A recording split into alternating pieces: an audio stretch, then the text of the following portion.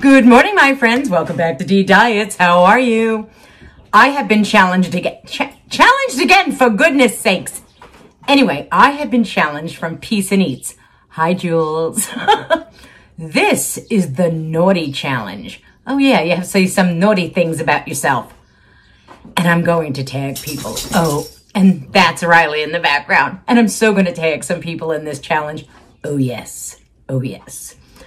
Okay, so let's start this challenge. The challenge you can ask, you can maybe point out three or four things that you've been naughty about over whatever span of time you want to choose, and then tag three additional people. But I think I'll be tagging more than just three. Oh, yeah. Oh, yeah. Anyway, let's see. When I was, let's see, in seventh grade, me and my girlfriend Patty, hi Patty, were going to Eisenhower Park, that is in Long Island, and our mothers were the class mothers. Oh, yes, they used to go on bus trips, and the mothers would like volunteer. So our mothers volunteered, and they both told us, do not go in the water. Do not go in the water. You're not permitted to go in the water. Well, hand in hand, we just walked into the water. and we did. And we did. And of course, we were in so much trouble, but at that point, we didn't even care. We were soaking wet. All the other kids weren't. But we were. And of course, our mothers were there. Oh, yeah. Well, that was a way of embarrassing our mothers. Uh, let's see. Oh, yes. When I was, I have little notes over here.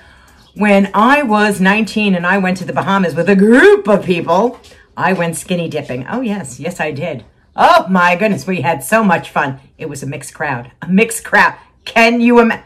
Now, I'd never do it again because I'd scare the fish. At this point, the people would go running out, and I think the, the fish would end up having legs and just run, run right out of the water. Uh, let's see. Oh, when I was about seven years old, there was a candy store that I lived near. And it was such a cute little candy store. And they don't have those nowadays, but they had them when I was growing up with the little soda fountains and stuff. And you can go get a banana split or a soda or an egg cream. But of course, there was abundance of candy. And when I was seven, I used to love Sweet Tarts. Now, they still have Sweet Tarts, but when I was little, Sweet Tarts were like this big. Yeah, they were. They were this big. And two came in a package for a dime.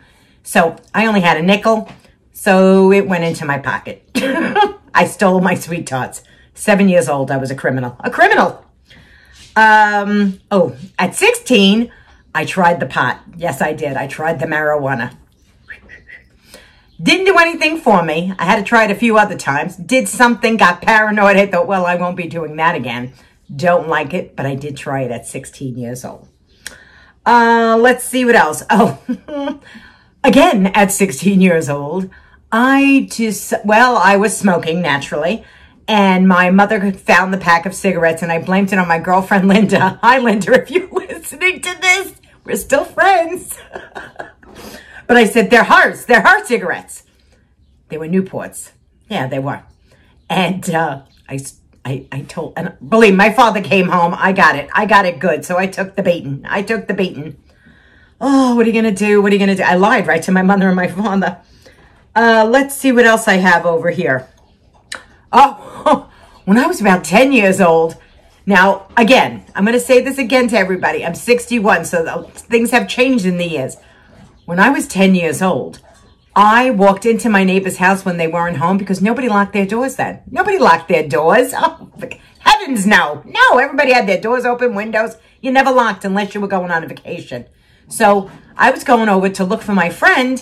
He wasn't home. They weren't home. I decided to turn the television on, go in the kitchen, make a milkshake, and sit in the living room. I got in a lot of trouble for that when his parents came. Oh, I didn't clean up the mess. The evidence was all there. It was all there. Um, oh, when I was 18 years old and getting ready to graduate high school, I decided to cut gym for the entire semester to be with my boyfriend. May he rest in peace. And no, I did not murder him or anything. It's, he just passed, not maybe 10, 15 years ago. But I cut the whole entire year, so I couldn't graduate with my class. I was able to walk, get the fake diploma, but I had to go to night school. Yeah, I had to go to night school to make up a quarter of a credit. Can you imagine? A quarter of a credit. I did it. I got my big diploma. I don't know. I don't know. Uh, let's see. Oh, yeah. Well, another thing of mine is I cannot, I have a short fuse. I really do. I have a really short fuse. It's very nasty about me, but I do have it. Like if you're stupid, like I have no time for you and I just sort of blow people off when I see stupidity. And believe me, I have seen stupidity over my lifetime and I just can't deal with it. So I just let it go. I just let it go. Not that I'm a little stupid at times myself, but oh my goodness, some people, they just aggravate my last nerve. Aggravate my last nerve. So we're into this video five minutes. See, it's not that bad of a video. Now, you're only supposed to call out three people to do this naughty challenge. But let me take off my glove. Oh, hello.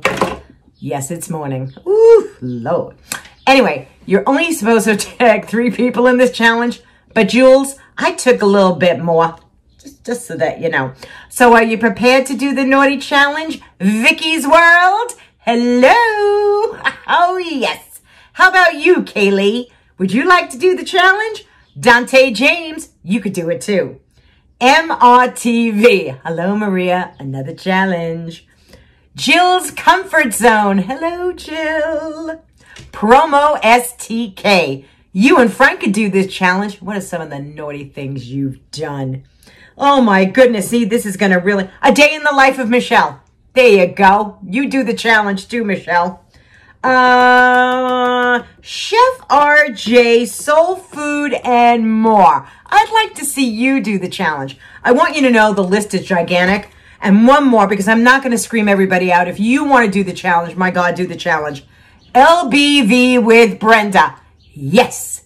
Now, that's all you have to do. So you can tell a little naughty story of some of the things you might have done uh, that you may not be too proud of. But you know what? It's a way of getting to know each other, isn't it? Isn't it? And I really can't say I did anything bad in my 30s, to be honest with you, or my 40s. My husband just said I was the most angelic I could possibly be. You believe that? You believe in the Easter Bunny? I'll talk to you all soon, my friends. Be kind to one another. The heart, that's really all that matters. Thank you, Jules from Peace and Eats, which is going to be right over here. Please go to her channel. And if you do this challenge, hashtag peace and eats. So she has the chance to see you do the challenge. Take it easy, my friends. Have a great day. Bye-bye.